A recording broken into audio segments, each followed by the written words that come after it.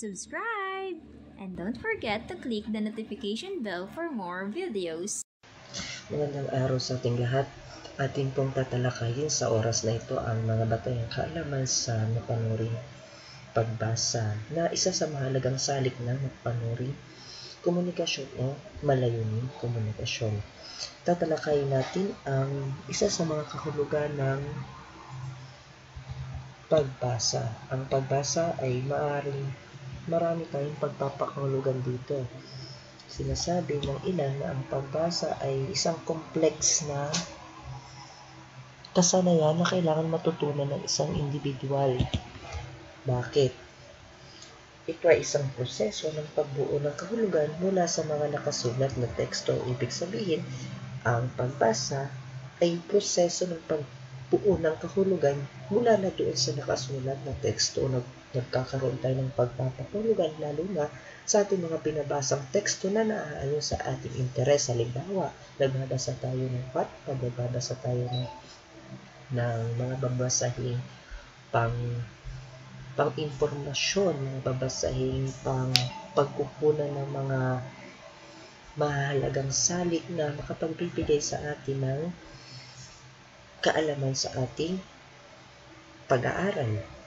Ito ay sinasabi ng kompleks na kasanayan na nangangailangan ng koordinasyon ng iba't iba at magkakaugnay na pinagmula ng impormasyon. Kasanayan na nangangailangan ng koordinasyon ng ano ng iba't ibang teksto upang makabuo ka ng pagpapahulugan ayon doon sa tekstong iyong nabasa. Ito ay ayon kay Anderson et al. Lumalawak ang talasalitaan at mga karanasan. Ito ay tungkol sa kahalagahan ng pagbasa. Bakit mahalaga? Sapagkat lumalawak ang talasalitaan at mga karanasan. Bakit sabing lumalawak ang talasalitaan? Bawat pagbasa natin, may na-encounter tayo o may naharap tayo o naharap tayo doon sa mga salitang may mga malalalim na pagpapaulugan na minsan hindi natin maunawaan kaya kinakailangan muna natin mag-search sa Google tumingin sa dictionary upang maunawaan natin ano ba ang pagpapakulugan nito. Minsan naman, through um, context clue na mula doon sa binasa natin, nakuha natin ng pagpapakahulugan.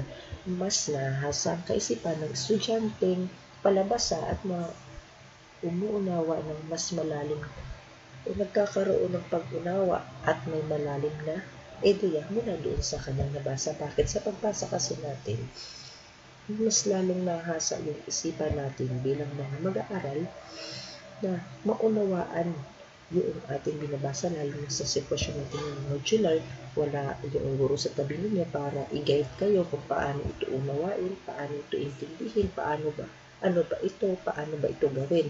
So dahil sa pagbabasa natin, nagkakaroon tayo ng kaisipan, lumalawak ng ating pag-unawa dun sa mga ideyang ating mga nababasa sapagkat nagkakaroon na tayo ngayon ng imbak na kalaman dahil sa ating pagbasa nakakatuklas ng maraming kaalaman at karunungan. Bakit? Tutugon sa pangailangan pang kabatiran sa iba't ibang disiplina tulad sa agham. Nagkakaroon ng maraming kaalaman. Halimbawa, inaalam mo ano ba yung paano pa gamutin yung sugat sa paa. So, magbabasa ka ng informasyon ano ba yung gamot na maaaring igamot doon sa sugat sa paa. So, inaalam mo kung ano ba yung mga teknolohiyang mas gagamitin ngayon para hindi ako ma-left behind sa pag-aaral ko. So, aalamin mo, paano ba gamitin yung laptop, magbabasa ka, paano ba, paano ba i-hack yung wifi ng ating kapitbahay para magkaroon tayo ng, ng wifi, ng signal. So, magsa-search ka, aalamin mo, paano ba, so magbabasa ka sa iba't ibang disiplina.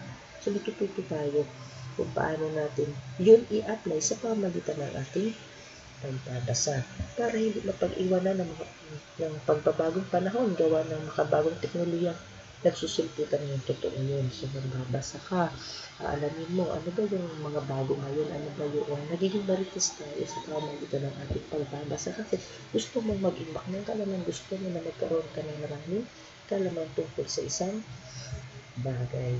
So, para mangyari yun, kailangan natin magbasa. May mga layunin ang pagbasa. Una, nagbabasa tayo upang maalin totoo yun. May mga oras kasi, hindi sa lahat ng pagkakataon, na nagbabasa tayo para maging seryoso sa isang bagay. Nagbabasa tayo para maaliw. Halimbawa sa akin, hindi ako magbasa ng manga, ng mga new updates ng, ng anime. Kasi yun yung napili sa akin ng kaaliwan. Magpatanggal ng stress. Iba naman sa atin, mahilig magbasa ng Wattpad. Bakit po? Kasi gusto nila, maaliw sila, kiligin sila tumutuklas ng mga bagong kaalaman at imbak at maimbak ito sa ating kaisipan. Totoo. Kasi sa pagbabasa natin, naiimbak yung kaalaman natin. Like for example, may examination. Mag-aaral ka, kailangan mo mag-imbak ng kaalaman para pagdating ng exam, hindi ka ma-zero. Pagdating ng exam, masa ka. So dahil doon mahahasa ang kaisipan mo, nagkakaroon ka ng imbak na kaalaman sa isang bagay sa pamamagitan ng ating pagbabasa mabatid ang iba't ibang karanasan at kapulutan ng aral. May mga tao na yung binabasa is more on moral lesson. Like for example, yung mga tao na binabasa ng Biblia kasi gusto nila malaman ano ba yung dapat gawin para maging isang mabuting tao. May mga tao naman na mahilig magbasa ng mga kwentong pambata kasi kinukwentuhan nila yung kanilang mga anak, yung kanilang kapatid, tapos sasabihin nila ito yung moral lesson, ito yung dapat mo i-apply makapaglakbay ang ating Diyos sa mga lugar na pinapangarap natin marating. Like for example, nagbabasa tayo kahit hindi tayo taga roon sa ibang bansa. Halimbawa, sa Korea, may binasa kang aklat na tungkol doon sa Korea para ka na rin naman nakarating doon sa Korea. Bakit? Kasi nabasa mo ano ba yung kultura nila, paano ba sila manamit, ano ba yung pag-uugali nila. So, sa pamagitan ng pagbasa, pagbabasa natin, inilalakbay natin yung ating sarili, yung ating buwan doon sa lugar na pinapangarap natin puntahan. Kumbaga, inilalagay mo yung sarili mo sa tekstong binabasa mo.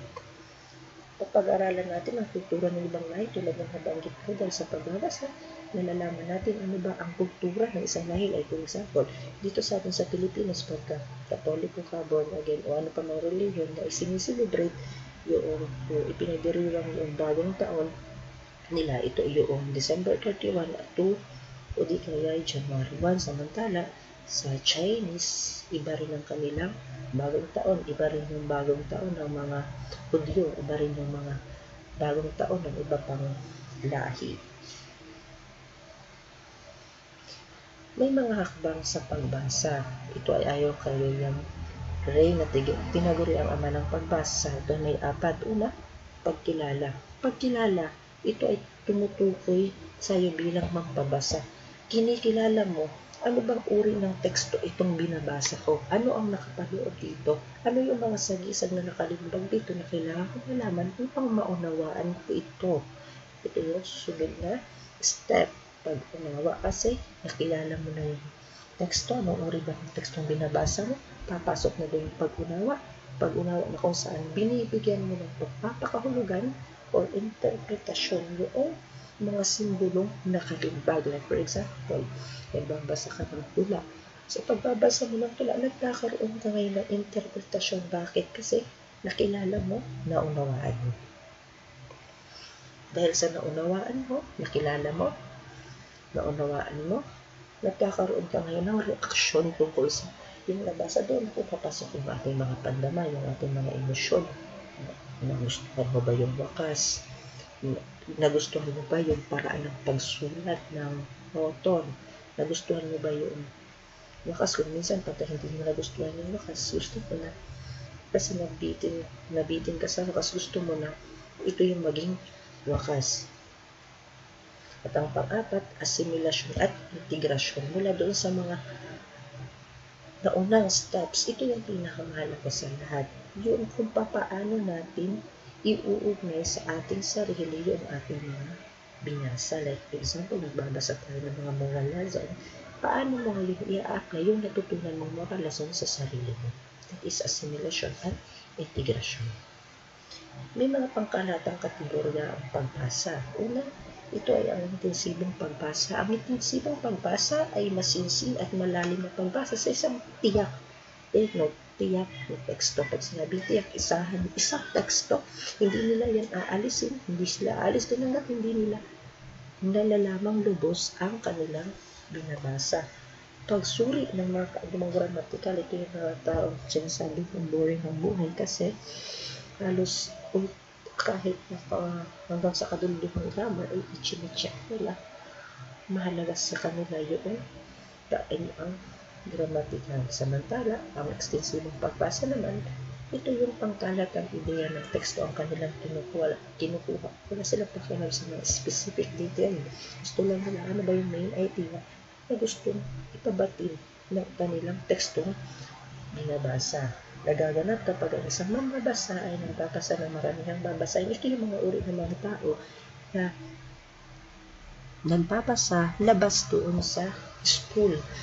Yung intensibong pagbasa kasi sa unang tinilaki natin yung intensibong pagbasa, ito yung mga klase ng mga tao na nag-aaral kasi kailangan ng school o kailangan nila kasi required sa kanilang paaralan. Samantala, ang ekstensibong pagbasa, ito yung mga uri ng mga mambabasa na nagbabasa sila hindi dahil sa kailangan sa paaralan kundi kailangan nila kasi sa kanilang sariling interes. Ito yung gusto nilang basahin sa kanilang sarili kasi dito sila masaya, dito sila nagiging naaaliw.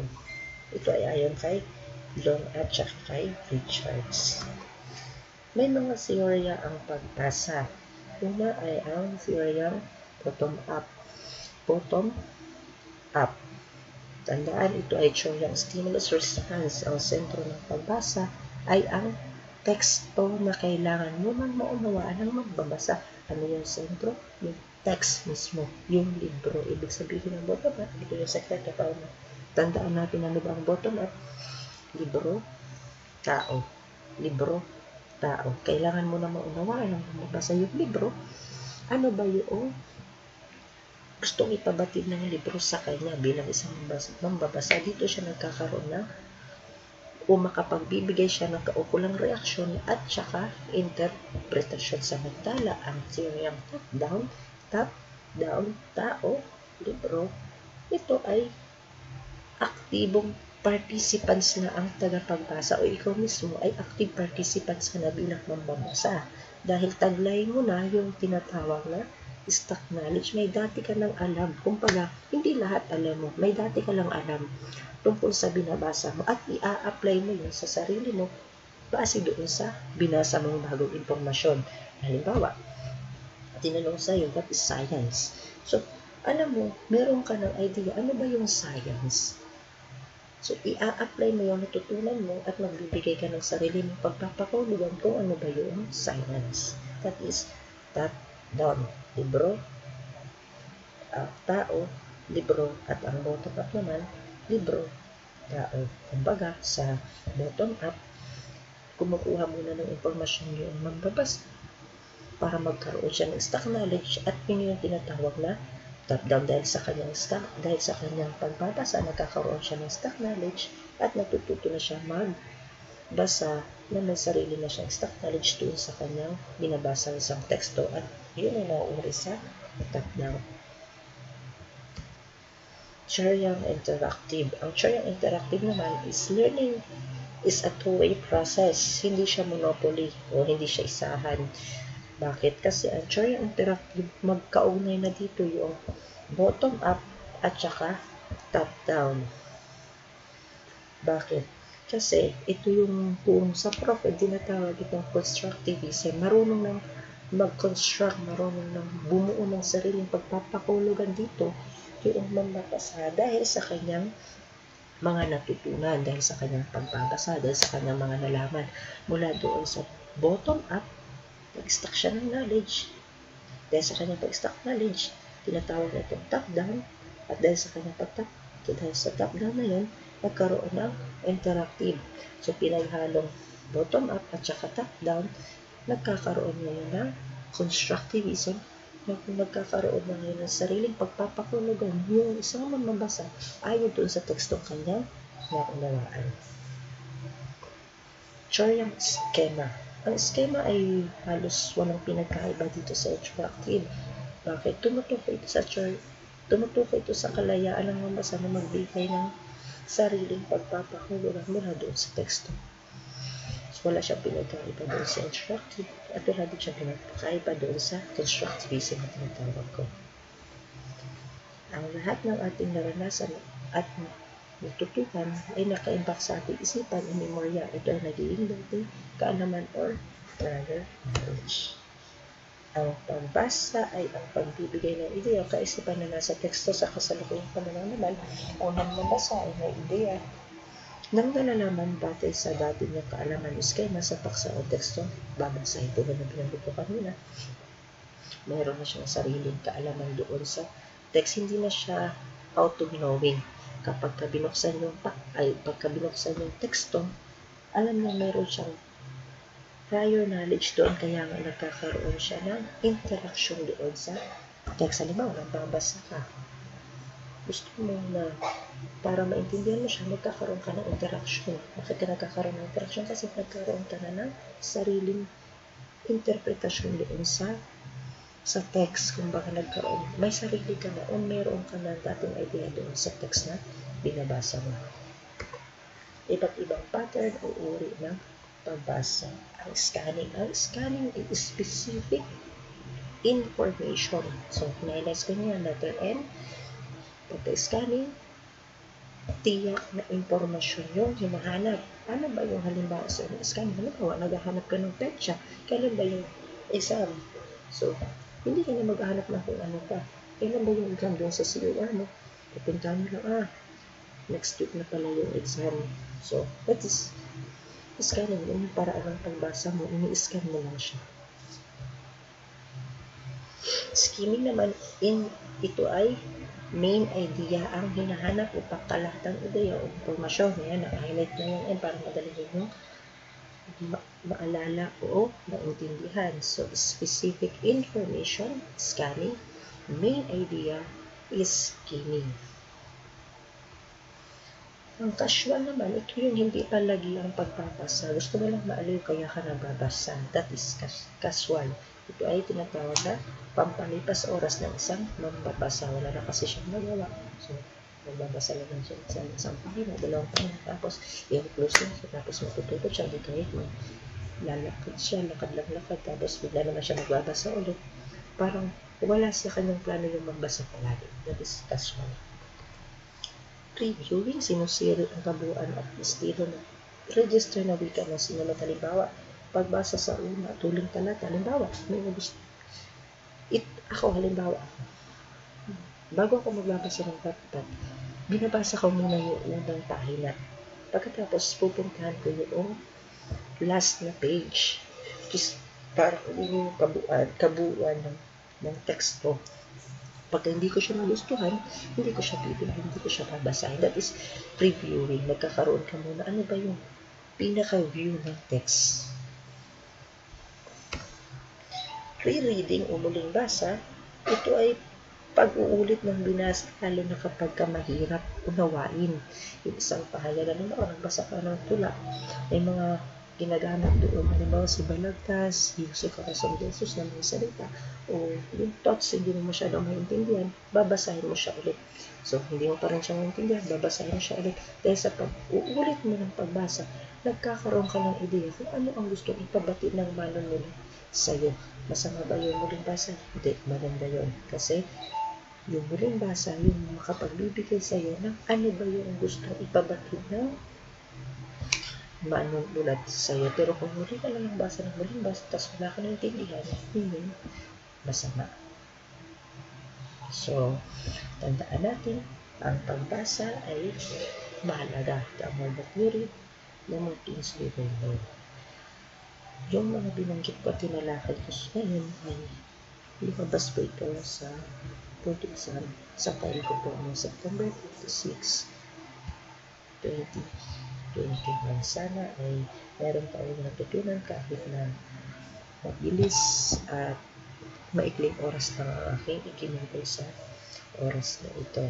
Sa susunod po ay magkakaroon tayo ng discussion tungkol sa mga grammar na madalas ginagamit sa pagsulat at madalas din na ipagkakamali ng marami. Muli, mga araw po sa atin.